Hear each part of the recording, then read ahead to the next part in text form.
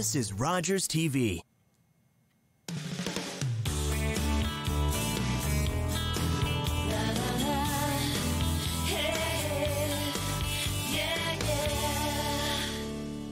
Welcome to Daytime Ottawa here on Rogers TV. Another fabulous show ahead, and we are going to start with a Billboard Top 10 artist. He's also a Juno nominee, and that's just two of the many accolades he's had over his career. I'm joined by J.W. Jones. J.W., how you doing, buddy? It's great to see you.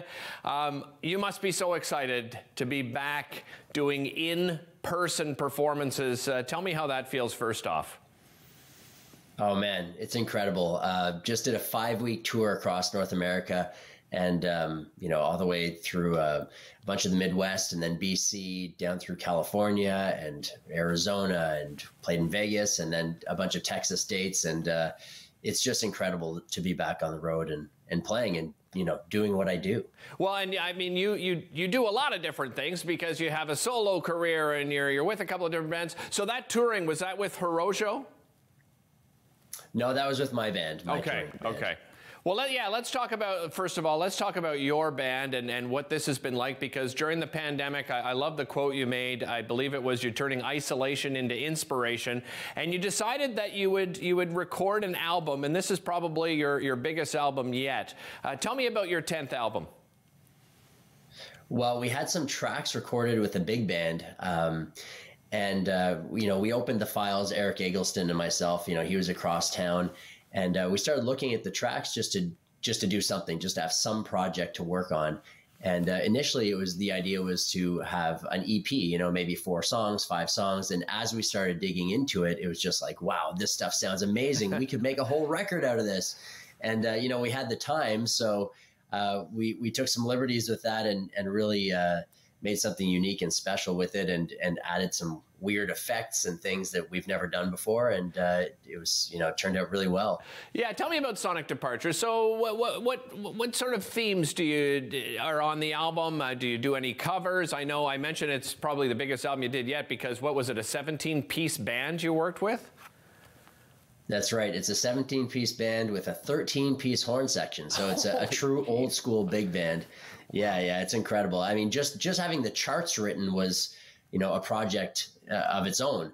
And then seeing it all through and, and actually performing with the guys. And um, yeah man it's just it's incredible. Um, there are a couple original tunes on it three originals and uh, the rest are covers and uh, you know there are tunes on there that i've always wanted to do you know uh, things that i used to do a song by guitar slim for example. I've always loved that tune. And you know you can't really justify recording certain songs unless you have the right instrumentation. And right. uh, you know the upright bass was a big part of that and the horn section and uh, you know and then we also did some original songs and kind of reinvented them with the uh, with the horns as well. I mentioned horojo. Uh, you guys went to the international blues challenge. You, you won it all. Um, you had dates set up. You had all of this momentum and then a pandemic hit. Uh, let, us talk a little bit about that and, and the effect the pandemic has had on horojo.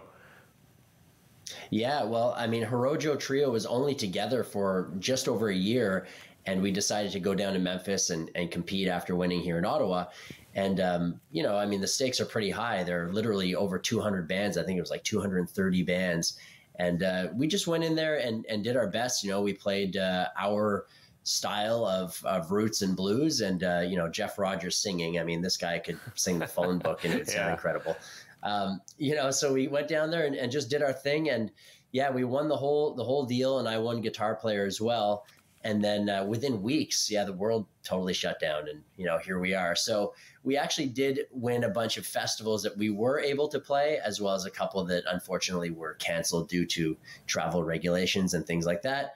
Um, and then we have uh, the the legendary blues cruise is coming up that we're playing at the end of January. So still lots to look forward to there. Well, and lots to look forward to here in Ottawa because you've got your J.W. Jones and Friends concert coming up. Let's talk a little bit about that. What people, what people can expect at this year's concert.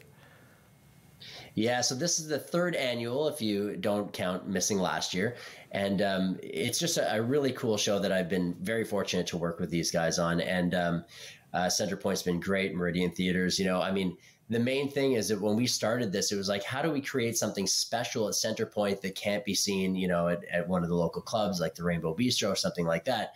So it became uh, JW Jones and Friends, and I picked four guests.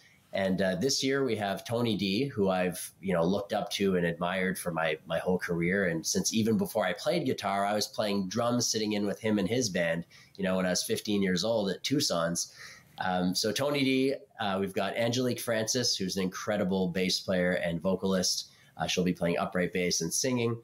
Uh, we've got uh, Michael Hanna singing, who's just an incredible singer. I can't wait for people to see him. And uh, and then Brea Lawrenson, who's a country artist and uh, you know, my, my guilty pleasure is new country music. So nice. I'm really happy to be able to back her on this. I love it. And you know, I think what's really unique here is, is uh, some of these people, as you mentioned, you and Tony D have a, a long-standing relationship. You've known each other for years. And then there are some people that you you invite that you know you've you've perhaps never even met in person before. How do you go about choosing who joins you on stage? You know, it's always tough because we want to have a diverse lineup uh, with instrumentation and male, female, and you know, cultural everything. So it is difficult to find the right people. Um, but you know, I, I, just follow my ears mainly and, and follow my heart in terms of the music and what moves me because I know that if I'm excited about it, that's going to translate to the audience. And and this uh, this lineup is really really incredible. We had a rehearsal already, and nice. everyone sounds amazing. So uh, I I honestly think this crowd is being totally spoiled. If I can be honest, it's like it's it's incredible. They're going to see some some of the best talent in the city. Yeah, no, I couldn't agree more. So um, it is happening. You mentioned Meridian Theaters at Centerpoint. When and how do people get tickets? Thursday night, and uh, you can get tickets. I mean, you can go to my website, jw-jones.com, click on tour, and then you'll see a, a, ticket button on there, or go straight to the venue website, Meridian Theaters at Centerpoint. And uh, Thursday night, I, I, think we start at uh, seven o'clock, eight o'clock. Yeah, I think it's yeah, seven, seven thirty, somewhere around there. JW, thanks so much for joining us. Really appreciate it. Thank you so much for having me. All right, take care. Again, that is Thursday, December the 16th. You can visit JW Jones's website for ticket information. Of course, to get his brand new album, we'll be back with more after this.